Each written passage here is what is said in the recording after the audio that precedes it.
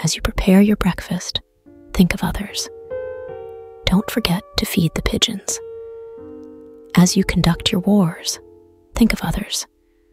Don't forget those who want peace. As you pay your water bill, think of others. Think of those who have only the clouds to drink from. As you go home, your own home, think of others.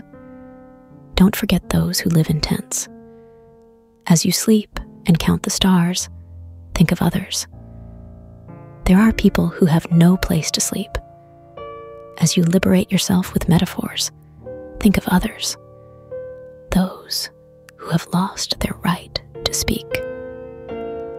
And as you think of distant others, think of yourself and say, I wish I were a candle in the darkness